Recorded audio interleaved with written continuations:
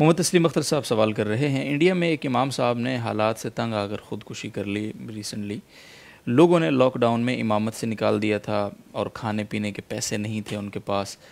क्या ये हालात ख़ुदकुशी के जवाज़ के लिए काफ़ी हैं? देखिए, मुझे तो इस वाक़े का इल्म नहीं है कि किसी इमाम साहब ने वाकई ऐसे किया या नहीं किया।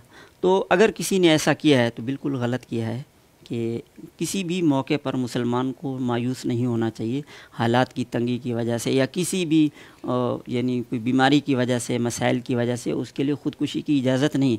बिलखसूस इस तरह की सूरत ये तो इससे मज़ीद घनौनी हो जाती है कि अपने बच्चों को साथ लेकर हम्म, हम्म, हम्म। बीवी को साथ लेकर सबको रेल के नीचे लिटा देना ये सिर्फ़ खुदकुशी नहीं बल्कि कत्ल के ज़ुमरे में भी आता है।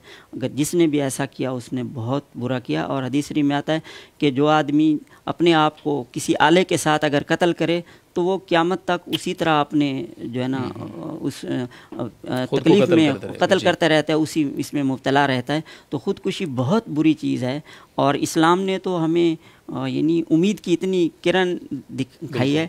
और आजकल हाँ, हो सकता है माशी हालात किसी को दरपेश हों मगर रसूलुल्लाह सल्लल्लाहु अलैहि वसल्लम ने अपने फ़क्र इख्तियारी के ज़रिए कई कई दिनों का फाका करके उम्मत को बतला दिया कि ये ऐसी चीज़ें नहीं है कि जिसकी वजह से आदमी मायूस होकर बैठ जाए।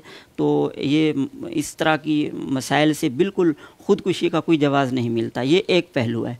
दूसरा पहलू ये है कि अगर माशरे ने और लोगों ने जिन उन्होंने अगर उनको मजबूर किया है और उनको ऐसे बुरे वक्त में मस्जिद से निकाल दिया उनके खाने पीने का कुछ नहीं था और वो इस इकदाम उठाने पर मजबूर हुए।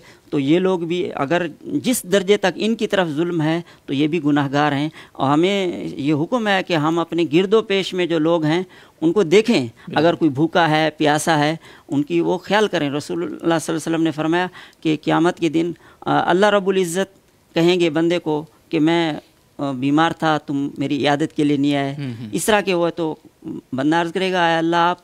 तो इन सारी चीज़ों से वो है। तो आप सल्लम ने फरमाया कि अल्लाह ताला फरमाएँगे कि मेरा फ़लाँ बंदा बीमार हुआ था। हम्म। तो उसकी तुम इयादत करते तो तुम्हें बहुत अजर सवाब होता मेरे करीब होते। तो ये सारी चीज़ें तो माशरे की अलग ज़िम्मेदारी है कि वो इस तरह के लोगों का ख्याल करें। और जो ऐसे मसाइल में घिरे हुए आदमी हैं उनकी भी ज़िम्मेदारी है कि वो इस तरह के इकदाम ना करें।